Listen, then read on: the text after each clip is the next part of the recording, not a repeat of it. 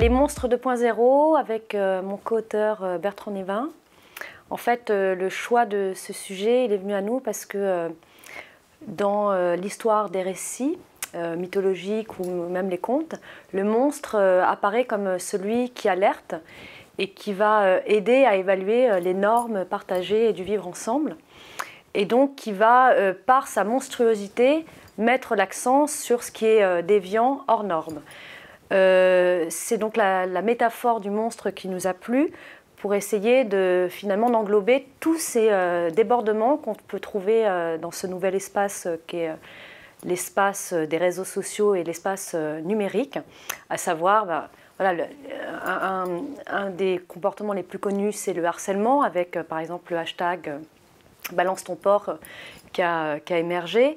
Euh, également tout ce qu'on appelle euh, les fake news et tout ce qui est incitation à la haine, ce qu'on appelle aussi dans le jargon internet le bashing. Voilà. Bâcher, ça veut dire insulter de manière gratuite. Voilà, donc pour nous, tout ça, ce sont des, nouvelles formes de monstres 2.0.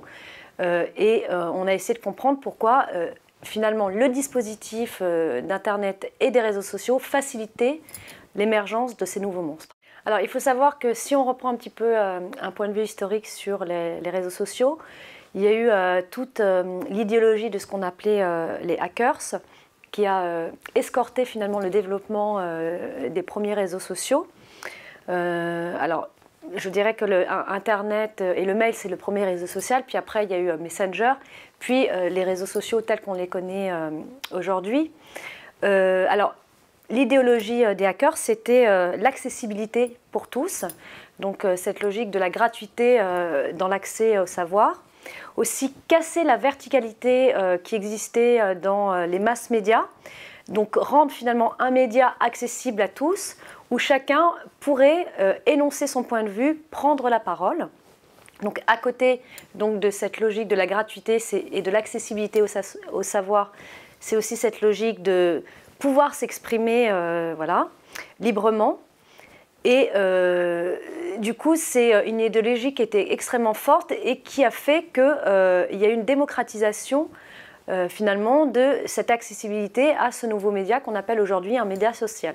Peut-être je pense que c'est important d'expliquer finalement derrière ce, projet euh, qui est quand même euh, un discours d'escorte euh, très, très utopiste, pourquoi aujourd'hui ça ne fonctionne pas ou ça ne fonctionne plus même si majoritairement, il faut quand même savoir que c'est un outil extraordinaire d'échange, de partage entre les individus et même d'accessibilité. Hein. Euh, il faut euh, quand même être. Euh, moi, je suis plutôt avec mon co-auteur technocritique. Hein, on n'est pas du tout technophobe. On est très conscient de, l'outil extraordinaire que sont les réseaux sociaux. Mais pourquoi il y a ces types de débordements et ces, ces monstres de point zéro qui ont commencé à émerger? Parce que il faut savoir aussi que par rapport aux réseaux sociaux, il y a une valeur qui était extrêmement dominante. Donc, c'est le libre accès et euh, finalement, la valeur euh, euh, libertaire qui, est, qui est venue se greffer là-dessus, la libre expression. Donc au nom de la libre expression, eh bien, ceux qui ont créé ces réseaux sociaux disaient bah, finalement, les individus vont s'auto-réguler entre eux et on n'a pas à voir, à, surveiller et à contrôler les contenus qu'ils publient. Voilà, donc ça c'était le projet, notamment sur Twitter, qui dit finalement nous on offre, on est un médium, un médium, c'est-à-dire on est finalement euh, un tuyau, nous ne sommes pas un média, c'est-à-dire que nous n'intervenons pas sur le processus d'éditorialisation pardon, et euh, sur le contenu médiatique. Il faut savoir que Facebook a une posture un petit peu différente parce que euh, Facebook ils se sont rendus compte que le, cœur de, leur public, c'était euh, voilà, tous les âges euh, et euh, notamment les, jeunes au, départ. Hein. Et ils se sont rendus compte qu'il y avait une nécessité quand même de réguler un minimum les contenus. Ils ont créé finalement ces nouveaux métiers que sont les modérateurs et qui surveillent un petit peu quels sont les contenus publiés. Et quand ils sont déviants, c'est-à-dire pornographiques, incitation à la haine, etc., ils sont bloqués où euh, évidemment ils comptent aussi sur les individus pour être modérateurs entre, eux et euh, alerter finalement euh, Facebook quand il y a un contenu déviant. Le problème aujourd'hui c'est que c'est très difficile de réglementer tous les contenus. Pour avoir, lors de nos enquêtes, échangé avec entre guillemets des célébrités qui sont victimes d'une forme de harcèlement, d'insultes chaque jour, ils ne peuvent pas attaquer, euh, par exemple, euh, voilà, un animateur euh, comme Arthur, il est victime de propos antisémites tous les jours. Voilà, donc il ne peut pas attaquer chaque personne qui l'insulte chaque jour. donc ils ont commencé à intégrer que finalement le bashing, l'insulte, faisait partie du, de ce dispositif médiatique et qu'il fallait le mettre à distance, le relativiser pour pas se laisser atteindre. Voilà. alors, quand je dirais on est une célébrité c'est, euh, on fait, ça fait partir de la celebrity culture, hein, ce qu'on appelle la, culture de la célébrité. Donc ils arrivent à gérer ça parce qu'ils sont formés, ils sont accompagnés euh, dans cette gestion de, voilà, de, leur image. Mais quand euh, ce sont des anonymes qui sont victimes, quand ça se passe dans la cour d'un collège, où soudain bah, il y a une victime qui est désignée par toute une classe et que voilà, il partage euh, un réseau social comme Instagram, Snapchat, etc., et qu'il est désigné comme dit, qu'il commence à être insulté, là, il y a un problème. Parce que, euh, bon, voilà, déjà, ce sont des jeunes. Euh, au niveau de la construction de l'identité, ils sont très, très sensibles au regard de leur père. Et c'est là où il peut y avoir des situations critiques. Et donc, ce qu'on recommande, en fait, avec notre avec mon co-auteur qui est aussi enseignant au collège, qui est chercheur en médias, qui enseigne à l'université aussi au collège, donc il connaît bien ce public. Finalement, c'est responsa responsabiliser les adultes face à cela, euh, parce qu'on s'est rendu compte que finalement, les adultes n'échangent pas beaucoup avec les adolescents, par exemple, sur euh, eh bien, la manière dont ils rentrent sur ce nouvel espace virtuel que sont les réseaux sociaux, quel contenu public, comment ils répondent à, ces contenus, etc. Donc il y a un, dialogue qui est euh, relativement absent entre euh, bah, les jeunes et les adultes, que ce soit euh, les parents, la famille immédiate ou même, euh, je dirais, les enseignants et l'école. Alors, il y a un certain nombre d'institutions comme la Clémy qui essaient de sensibiliser autour de ces questions, parce que, il faut quand même savoir que c'est un nouveau langage et que l'école est là pour apprendre ces langages que sont le langage mathématique, l'expression française, etc. Et ce langage-là, il est euh, totalement euh, laissé à l'abandon et c'est l'apprentissage sur les réseaux sociaux se fait de pair à pair, de jeune à jeune. Donc finalement, il y aurait, euh, comme aujourd'hui, bah, c'est une génération qui grandit avec les écrans, qui naît avec les écrans qu'on appelle les digital natives, il y a une responsabilité, je dirais, à la fois citoyenne et adulte vis-à-vis -vis de cette jeune génération pour déjà qu'ils apprennent à se réguler comme sur l'espace réel sur cet espace virtuel en disant bah, en fait quand tu fais ça c'est euh, dans l'espace réel c'est condamnable. Ça ça s'appelle euh, du harcèlement. Ça ça s'appelle de la discrimination etc donc finalement les règles qui s'appliquent dans, dans, l'espace réel dans le vivre ensemble eh bien dire que dans l'espace virtuel elles doivent aussi s'appliquer. C'est vraiment de, l'éducation et de l'accompagnement.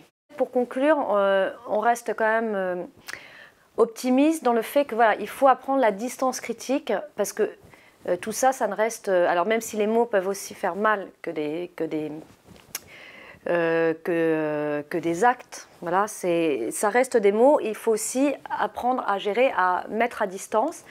Et alors, il y a Emmanuel Macron qui a organisé à la rentrée un grand projet qu'il appelait Tech for Good. Alors e-, Emmanuel Macron, on sait que c'est un grand lecteur de Ricoeur, et cette phrase de Ricoeur, soi-même comme un autre, je pense qu'il faut aussi apprendre à se l'appliquer euh, en tant qu'individu et citoyen euh, sur l'espace euh, virtuel, c'est-à-dire bah, ne pas faire à l'autre ce que je n'aimerais pas déjà qu'on me fasse.